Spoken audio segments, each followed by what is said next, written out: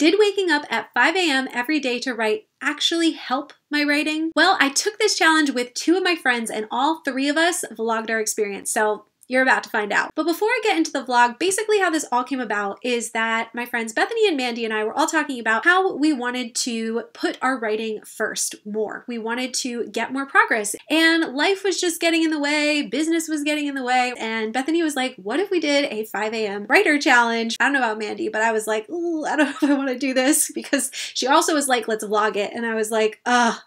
Ugh, you do not want to see me at 5 a.m., but you will. It's coming up. I had also heard about 5 a.m. Writers Club and how people would get up at 5 a.m., especially if they had like a day job or they had family, and and it was hard to get writing done later in the day. And me as a morning person, it sounded like a good idea, but it was also like it's 5 a.m it's a little too early, even even for somebody like me. But I did really like the idea of having accountability, doing this with two of my friends, knowing that we all would be suffering, and especially because I am in the final stages of editing my YA fantasy novel On Wings of Ash and Dust, and edits have just been something I've been slogging through. I was like, I need the extra accountability. I need to make sure my, in my case, editing comes first if I ever want to get this book published. So here's my experience waking up at 5 a.m. for five days in a row. And just to warn you, because you will see a Christmas tree, this was filmed in December and now it's January. And if you want to find out overall, did I think this was worth it? Do I recommend it? And will I keep doing it going forward? Definitely stay until the end. Plus, please remember that even if this does work for me, not every tactic works for everyone. So that's why I also love that there's two other vlogs that you can go watch, two other experiences. So after this video, definitely make sure to go check out Bethany and Mandi's video, which I will link down below. All right, you guys ready? Here we go.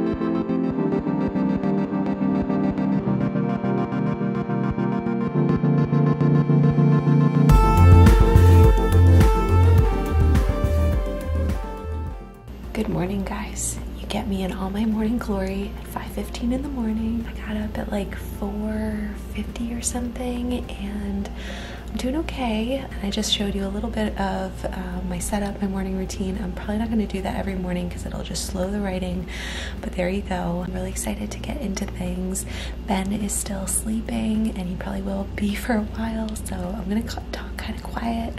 Hopefully you can hear me. I'm usually in my office, um, which I'll probably show you later in the week, but we just put the tree up the other day and I'm just like, I need near it, especially when it's dark. It's just so pretty and uh, really sets the mood. I've got um, this little side table here. That's why you see uh, the Instant Pot from my husband. He likes to cook a lot. I've got my setup with this little table, uh, Scrivener open, got some tea with uh, one of my one of my new mugs because the book is is coming out and so I was excited to release some merch to help fund the publication because indie authors yes they're awesome but we need to pay for everything. And then of course I've got the bullet journal and the checklist of all the chapters I need to do. And today I am working on chapter two of episode two. I'm editing with my developmental editor's notes and um, yeah developmental editing.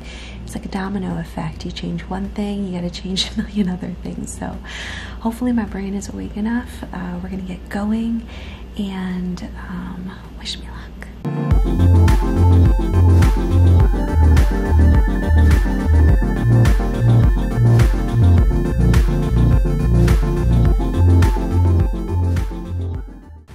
Hey guys. Okay, so it's definitely after seven o'clock and I just realized I never updated you guys. So how did it go this morning? I edited slash rewrote for about two hours and it was really, really good. I had a lot of energy once I got going and I definitely think my brain like works the best in the morning. So I think this is a win so far. It's still going slow because with developmental edits, I'm just realizing that, okay, I made some progress here, but now I have to go rewrite this or reorder that. It's a process, but I'm really um, lucky because I have a developmental editor who is just amazing. She read through everything, gave me developmental notes, but now she is willing to have me basically resend everything chapter by chapter as I do it and she's giving me further kind of inline notes and troubleshooting with me and she's just the kind of editor that sort of in it for the long haul and she's just like I want to be in the process with you and make sure that you know the changes that you make you know like you have help implementing them and um, don't get stuck and are able to finish and be proud of what you create. And I'm like, oh, you're amazing. So huge shout out to my editor. But yeah, I'm actually pretty excited to wake up at 5 a.m. again tomorrow. Um, I think it set up my day really well. Once Ben got up, we got to have breakfast and I just didn't feel like I had to like rush off to go do other work because I had already got a bunch of editing done in the morning. So that was also a win. And then later in the day, I ran a sprint on YouTube here. So that was really cool. We're doing fairy themed sprints because there's fairies in the book and everybody picks a clan that they want to join and then they report their words or their page numbers and I put them into a kind of point tracker and figure out which clan wins each round. So that's been really fun to implement. Yeah, I didn't mean for this to be too long, just a quick check-in. So I'm going to stop it here and the next time you'll see me, it'll be day two and hopefully it will go as well, if not better than today. So yeah, wish me luck.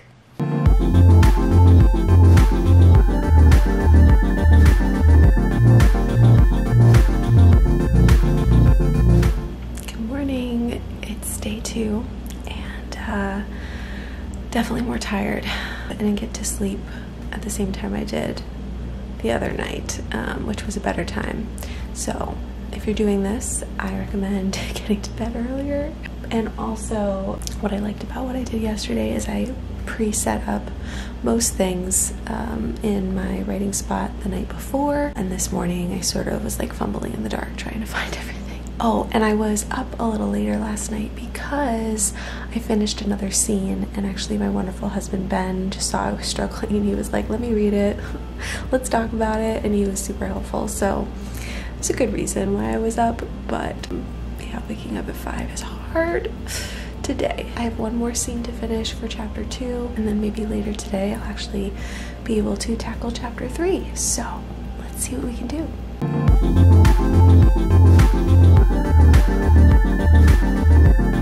I'm covering this, you guys don't get spoilers.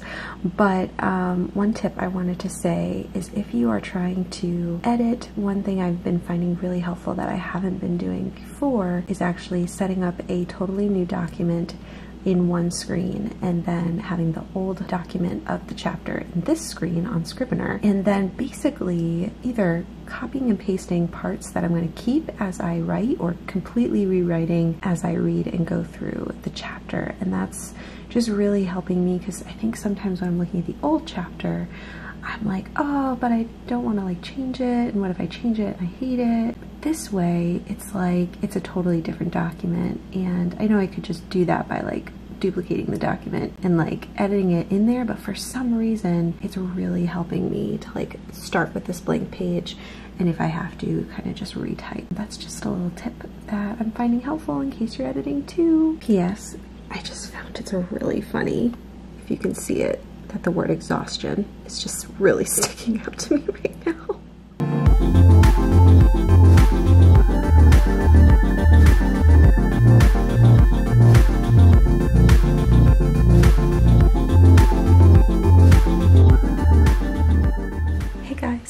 Welcome to day three. We're in my office this morning because I felt like I needed a little bit of a change of scenery and I honestly thought that waking up at 5 this morning would be easier by now and it's not easier.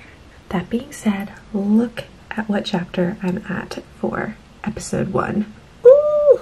I'm gonna be honest, I didn't get all the way there yesterday morning. I was so tired, so I worked for about an hour when I woke up, and then I took a nap because I was just exhausted. But I think it got me going for the rest of the day. And later, I was like, you know what? I've been stuck on chapter two for a while. I was like, okay, I'm gonna set 15 minute uh, sprints and I'm to work on a different chapter each sprint even if I don't finish editing uh, in that time I'm just gonna the alarm's gonna go off and I'm gonna move on the learning curve of editing and trying different things so hopefully some of these tips that I'm uh, experiencing along the way might help you but it definitely worked because the later scenes definitely don't need as much edits as the first two. My plan today is to edit episode 7 and 8. I've also got some items written in my notebook here, uh, brainstorming items that I realized I was trying to edit in the moment but just need a little bit more brainstorming. So I'm going to brainstorm and then I'm going to edit and hopefully by this afternoon I can get this thing in shape enough to send the whole episode to my editor.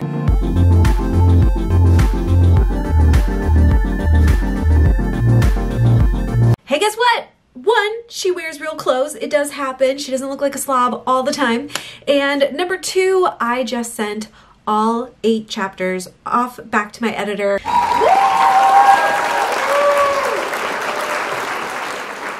That is a miracle because because literally it did not happen all nano and part of that is I was doing a separate launch that I probably shouldn't have been doing during Nano, but I did it and I'm super excited. So how did this happen? Well, this morning while I was writing at 5 a.m., I did get through chapters 7 and 8, but there were still some scenes that need some work and I'm just like, oh, maybe I'll send them, maybe I won't. And so I took a break with Ben, got breakfast, got dressed, uh, cleaned the living room, and then I went to go look at my email and I'm getting Google Doc updates that my editor is in our shared Google Doc giving me some some editing notes and I'm just like, ah, I want to make the best use of her time because I know she has other clients. So that super motivated me to just take everything I had and put comments in the places that I needed to clarify things or ask for help. And I just got the rest to her and sent it off in the doc. And right now you're seeing nothing, but there are words there. I just want to make sure. Oh, you can't read that. Okay, that's good. Uh, I just want to make sure I have no spoilers, but I have all eight chapters sent off to her and I'm feeling really good because it's only 11:35 and I got the whole episode done like 2 days earlier than I thought. So do I think that writing at 5 a.m. helped me?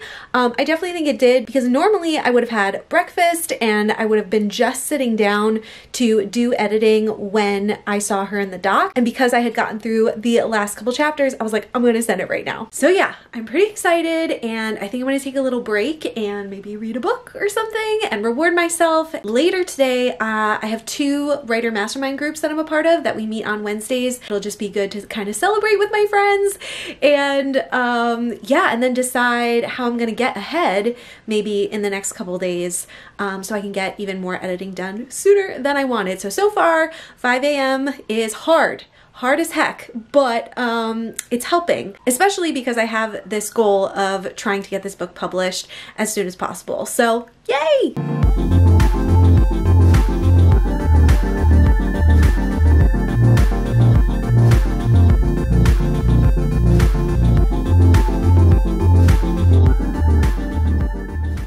Hey guys, obviously it's a lot later in the day, but this morning went okay. I was still really tired and honestly I did a lot yesterday so I was trying to give myself some grace but getting up early did ensure that I put the writing first which is the whole purpose of this experiment and then I was able to get some other things done like plan some YouTube content and answer emails and do a bunch of other things that I've been putting off because the editing has been so important without feeling guilty because I made the book the priority. But what I'm gonna do after I get up at 5 a.m a.m. for day number five tomorrow is to sort of try to do reflection and like a recap of how this week went and answer the questions Did I think this was worth it? Do I recommend it? Will I keep doing it? And if not, did this change anything? So, if you want to hear what I think about all that, it's coming up.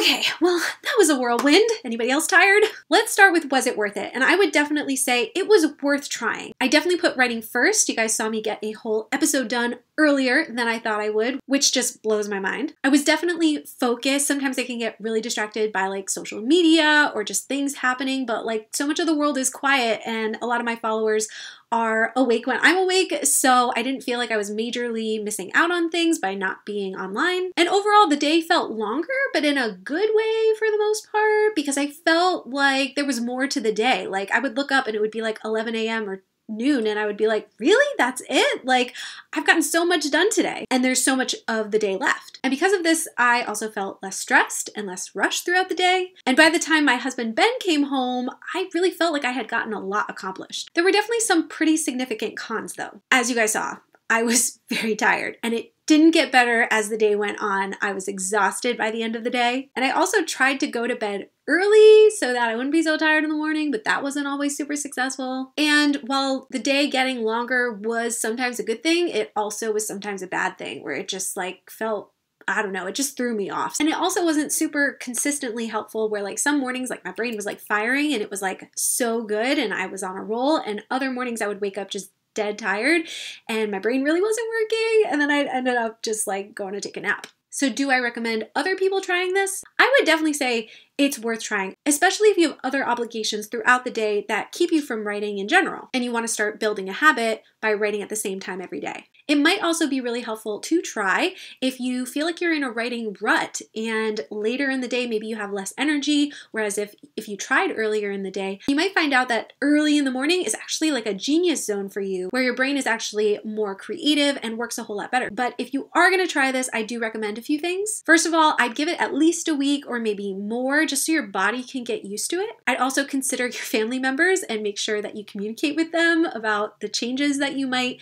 be doing like trying go to bed early. And with that being said, I would definitely check your schedule that week that you want to try it and really look at it and be like, do I have other obligations that are going to keep me from being able to go to bed at a good time so I can not wake up as a zombie. Also, I would highly suggest trying this out with friends who want to do it at the same time because I honestly don't know that I would have gotten through the entire week without having the accountability of Bethany and Mandi. So, thanks, ladies. This was a lot of fun and hard. It, it was also really hard. So then the question is, will I continue doing it? And because I'm filming this outro many weeks after, I'm also going to share have I continued doing this. Initially, after finishing the challenge, my goal was to keep writing first, first thing in the day, but to wake up just a little bit earlier than I normally do. Not at 5 a.m., but maybe like 6 or 5.45. Maybe I would just keep this to certain days of the week. I was also thinking that whenever I was on deadline and needed some extra time, I could just pull out this idea of doing 5 a.m. writing for like a week or so because it did really help me prioritize my writing and make sure that I got it done. If I had to do it again, I also don't know if I would have vlogged it because I think that that actually took away time from the actual editing and writing too. But on the flip side, it's also really cool to have this whole journey chronicled, and it was really helpful to have the accountability of my friends. Okay, so like I said, I'm filming this outro many weeks after the vlog, and I'm just gonna come clean and say I have not been waking up at 5 a.m. since it was definitely really hard. But there have been a few days that I've woken up earlier at like 6 something a little more reasonable for me. And those days have been really good, or just waking up at my normal time and then making sure that I did writing before I did anything else. So, after all this, what do you think? Do you think you'll try the 5 a.m. writer challenge? Please let me know if you do, or if that's something you normally do, let me know that in the comments. And if you enjoyed this vlog, definitely give this video a thumbs up. It really helps my channel. And let me know in the comments, do you want to see more vlogs like this, like behind the scenes and day in the life? Also, definitely don't forget to watch And Mandi's vlogs that are linked down below. And if you're looking for more writerly videos, check out one of these two, and I'll see you there.